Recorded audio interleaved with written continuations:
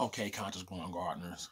So yesterday I promised that I will do a video on the, the uh, things that we use in our garden uh, that we like as far as helping to grow life. Okay, so I didn't get a chance to get to that video. So today I'm going to do that video right now, right? For all the subscribers, for all the people that watch, right? For all the people that uh, are new to gardening, right? We've been gardening for about five, almost six years now. So we've learned a lot of little things, you know what I'm saying? Uh, just just alone, the, the conscious growing garden has been gardening for that long.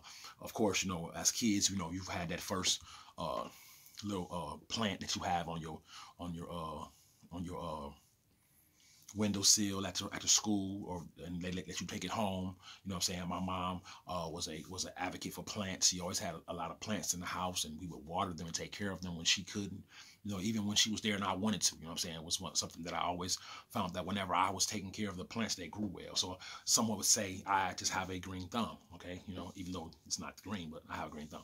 And, uh, and so uh, uh, my grandmother was a was a was a plant woman, but she was a, an advocate for great food. She was a, a, very good cook. She taught all her her daughters how to cook, and so that that that uh, that generation passed a lot of that cooking and uh, food and stuff down to us, uh, as well as uh, my partner, uh, the scientific one. She's uh, a down south young lady, come from her, her, family's from Alabama, so they learned a lot about cooking from soul food areas, beans and peas and things of that nature, and so one day uh, she got hit with a with, with a uh, grow bug that she wanted to start uh, her own garden and grow her own peas and beans and things of that nature.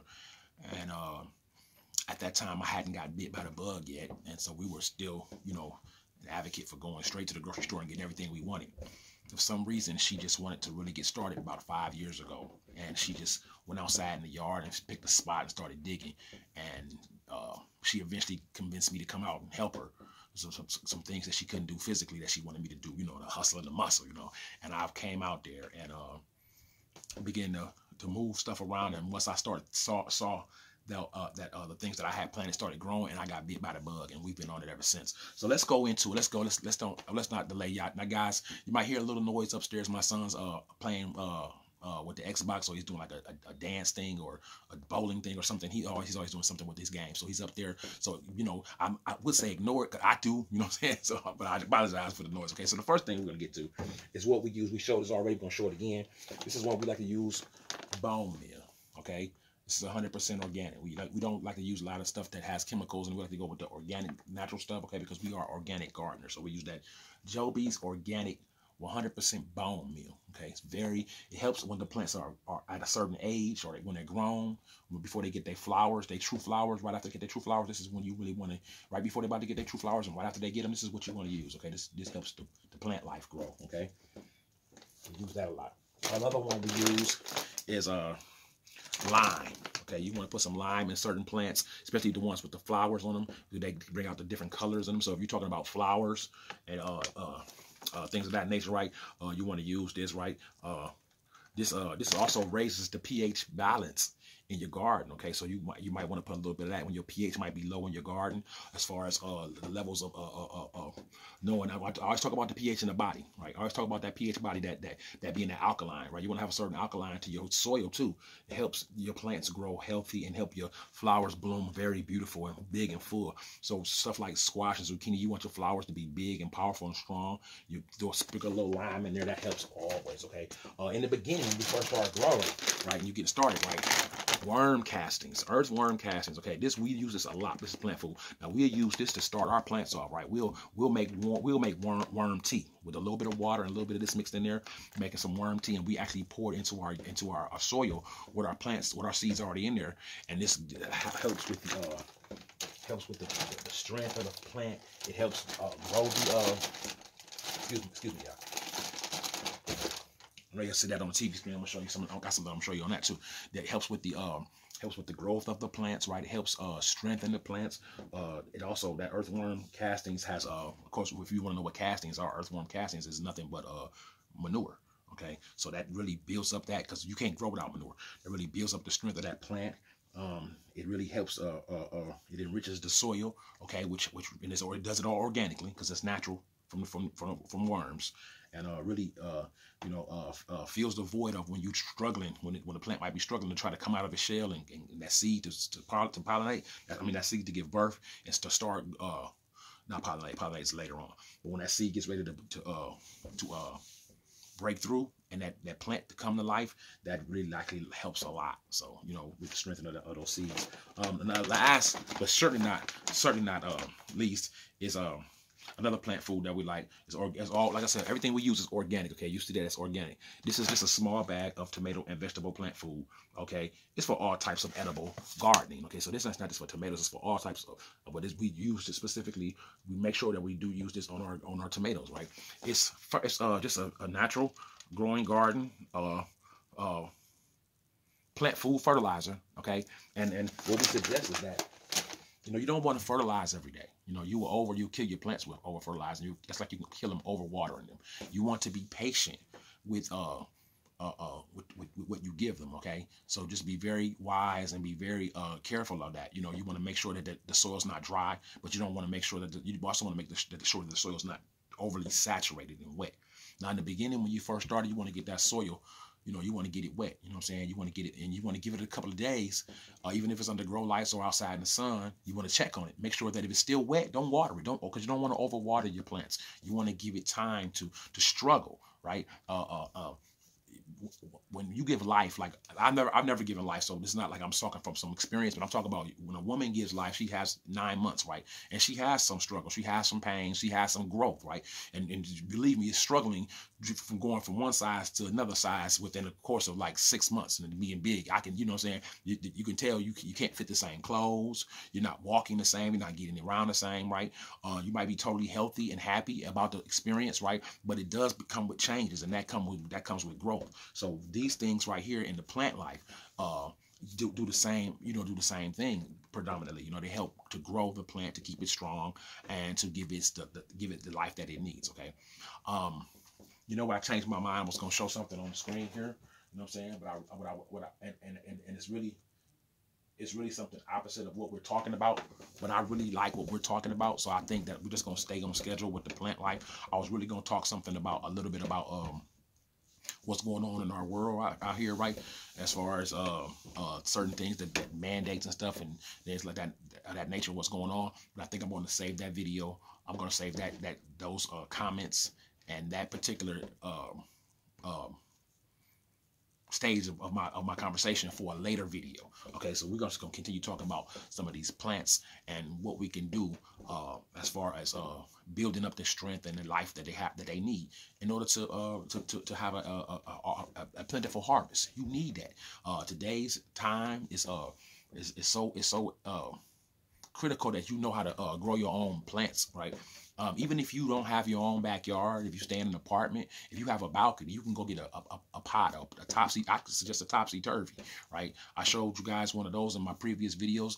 The topsy-turvy is a hanging plant uh, uh, bag that you can put soil in, okay? And uh, you can take your plant or your seeds and put it in, and they have different uh, uh, escapes for the for the different legs of the plant. So if it's a tomato plant that has more than one leg, you can you can put it through different legs, uh, uh, holes in the bag, including the bottom, and you can let it. You know, you, it has a filter at the top, so when it waters, if it's outside and it gets water on it uh, naturally through through rain, that's fine.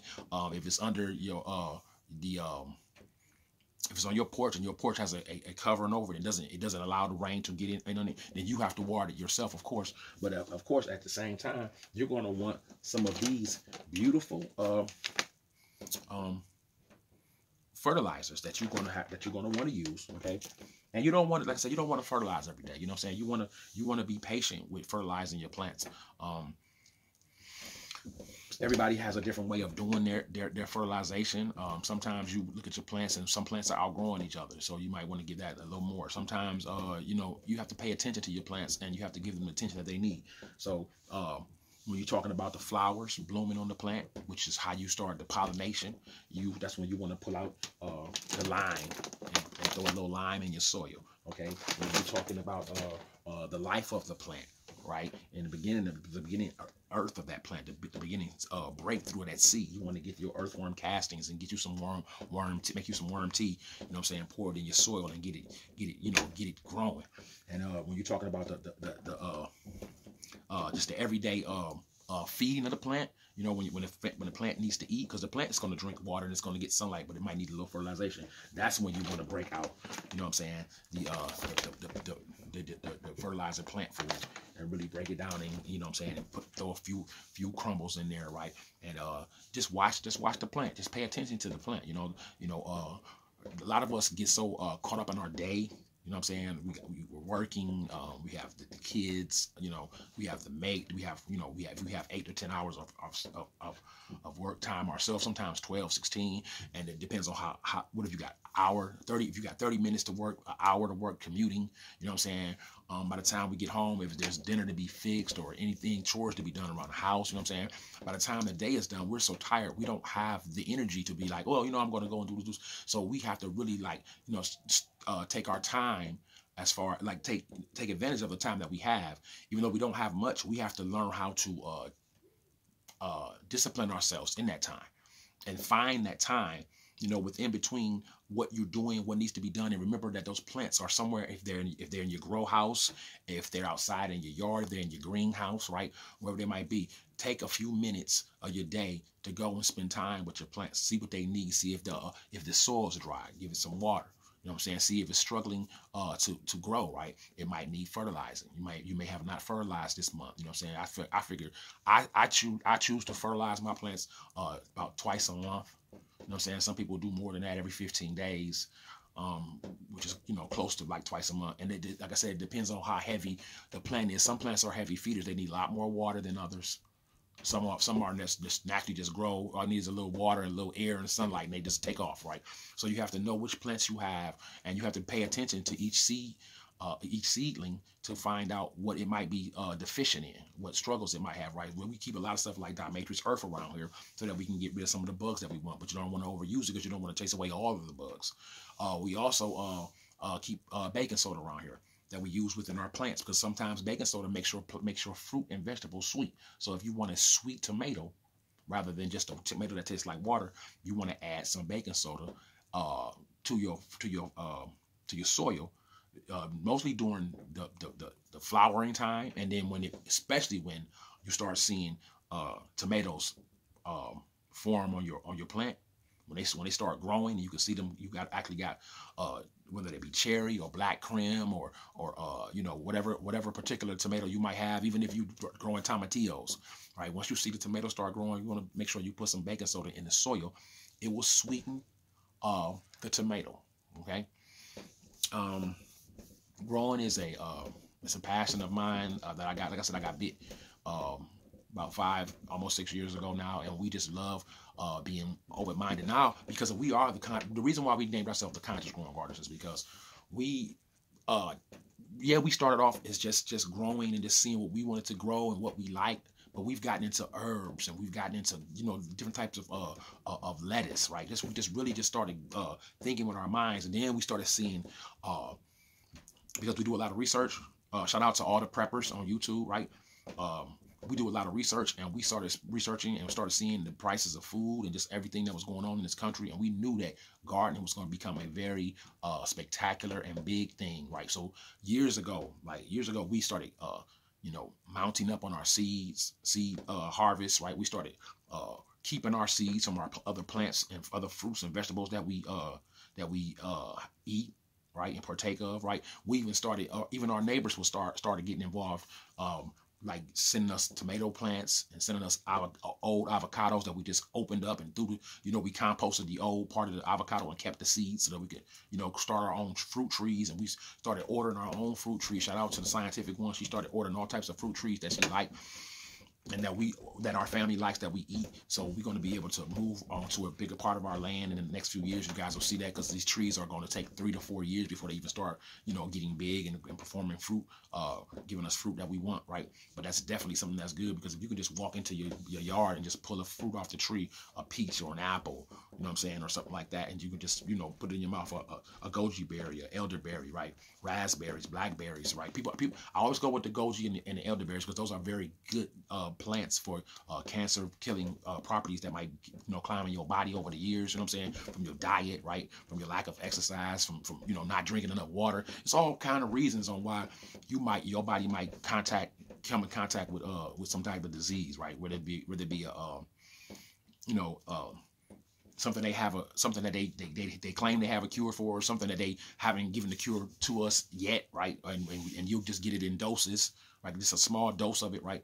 Not realizing that uh you know there's all kind of ways to uh prevent this from happening to you you know and I, am sure I, the thing the thing of it is is that uh, with us not being doctors but i'm not a doctor you're not a doctor right? Most of the people that's watching this baby you know you know you know there might be some people that watch it as a doctor but we're not doctors so we don't know you know you don't always know without certain tests whether you're sick or whether you you know whether you have uh, diabetes or whether you have cancer right? These are things that start coming up in your life as you get older or as you start discovering something is wrong with your body right?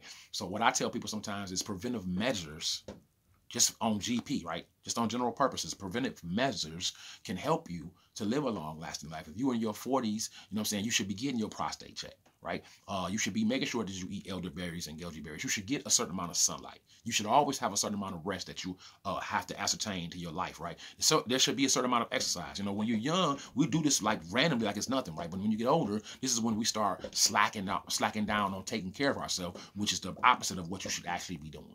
Okay, you should be taking more consideration and more time for your body during those elderly times than when you are younger, because younger you just bounce back like it's nothing, right?